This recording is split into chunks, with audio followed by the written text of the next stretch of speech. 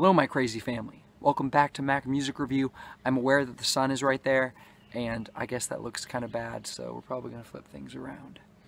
But, um, yeah. Today we are going to be looking at the album Guppy by Charly. By Charly Bliss. Guppy is actually the debut album for Charly Bliss, and you may be wondering, what is Charly Bliss? Because most people haven't heard of Charly Bliss. They do not have any hits. They're pretty small. They haven't released much music at all, so it's unsurprising if you haven't heard of them. They are a kind of, they're kind of like Weezer, except like female Weezer the lyrics are all very the lyrics about you know being young the lyrics on this album are about being young and they're kind of funny with lots of reference to things like one of the songs on this is called dairy queen one of the songs is called gatorade so you know they're like weezer because they reference things and yeah. And um, the most distinctive part of charly bliss is the lead singer the lead i don't know her name but the lead singer of this is a female, and she has a crazy high pitched voice. Like the highest pitched voice I can think of of any female singer in a band or any female singer at all. She's just super high pitched singing and really like squeaky, almost cartoonish. Her voice is almost cartoonish. And then another distinctive facet of Charly Bliss is the very real rock music. This is really aggressive. I mean, I shouldn't say really aggressive because, I mean, the music is really aggressive, but the lyrics and the vocals are not aggressive.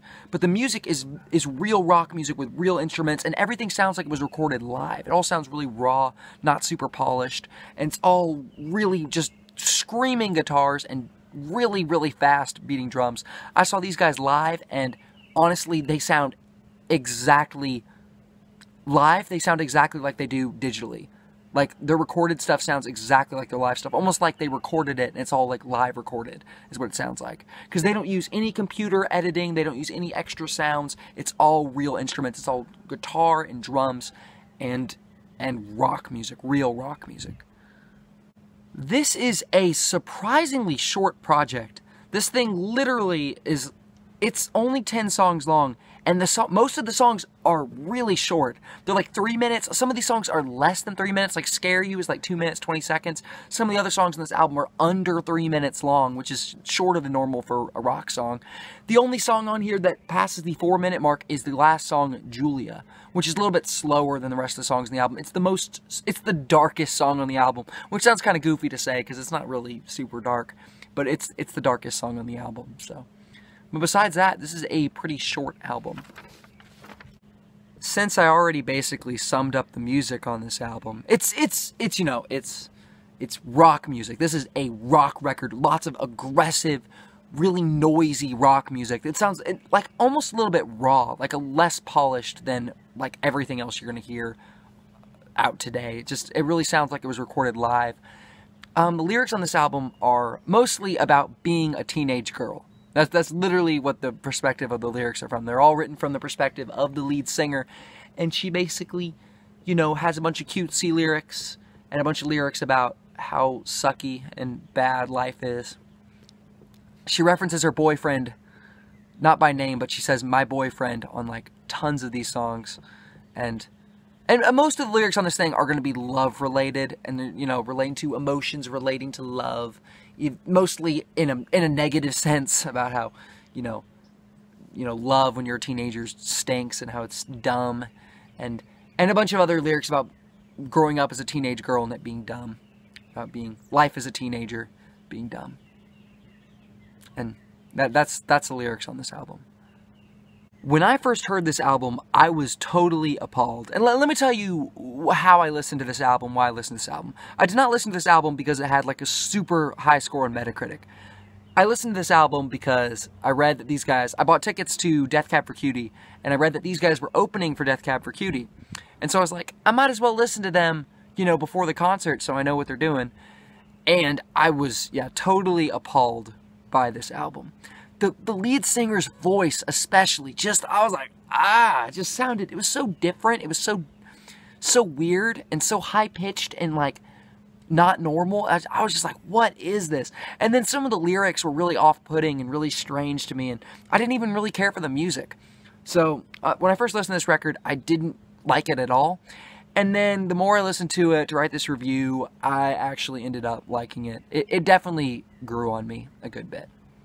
Specifically speaking, um, her voice, the lead singer's voice, got much less annoying, and it, it really isn't super annoying anymore. I, it's, I don't really find it terribly annoying anymore. It's very original and actually gives a lot of charm to the album because of how unique the singing is. How and it fits the singing fits very well with the lyrics, a lot of the weird lyrics and the, the topics of the lyrics. It all it all makes more sense with the original singing with the really high pitched feminine vocals on this album.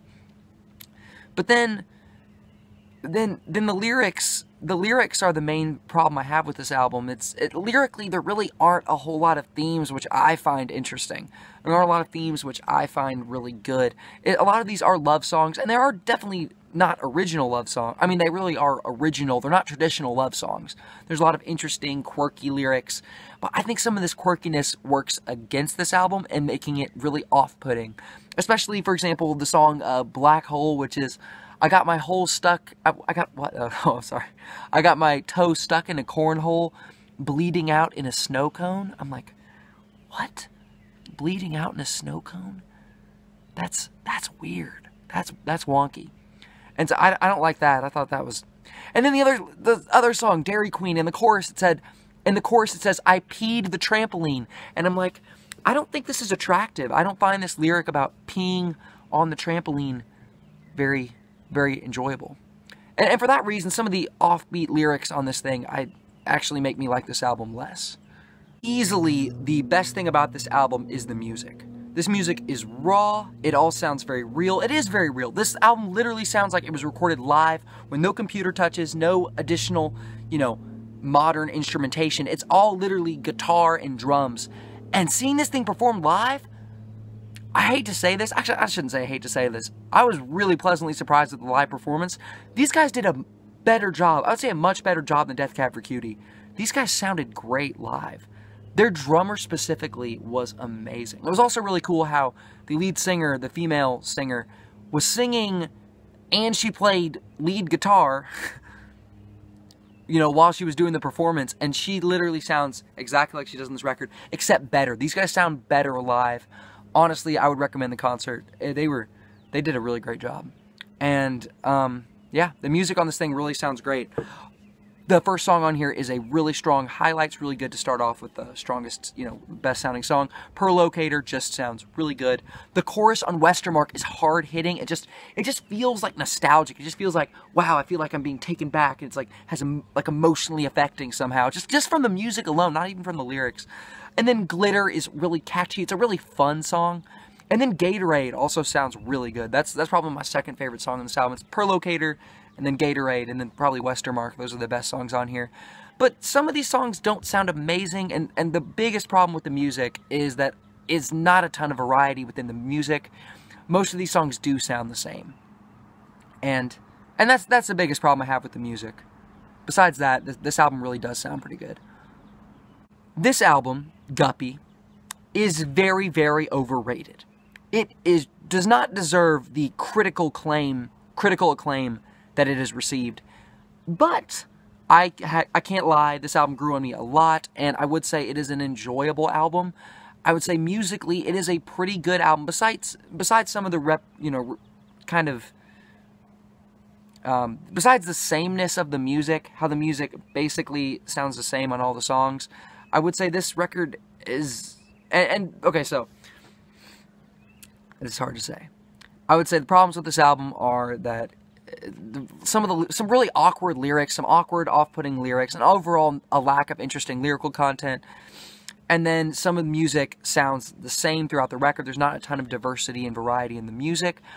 Besides that, this record really does sound great. The music on this is very high quality. It sounds way better live. I would say way better. This is this is a band that you should see perform live. But musically, this is a pretty good record. This is a good sounding record. The vocals add charm to the album. They make it special, they make it stand out. I'm going to give this thing 3.5 out of 5. What do you think of Charly Bliss? What do you think of Guppy? What do you think of their new album that's coming out in like, like, like I don't know, really soon. They've already released two singles for the album. I, I like one of the singles. I mean, I like things, I think I like things about both the single singles, but there are also things I don't like about the singles. Same thing, problem I have with this album, actually. Um, I like some of the lyrics, and then I dislike I mean, it's like the musically, musically it sounds good, but then it has some awkward, off-putting lyrics, and that, that's really the problem I have with the new singles. But besides that, it sounds pretty good. I bet it's going to be a good sounding album. Probably, probably about as good sounding as this album. Thanks for watching. I really appreciate it. Thank you.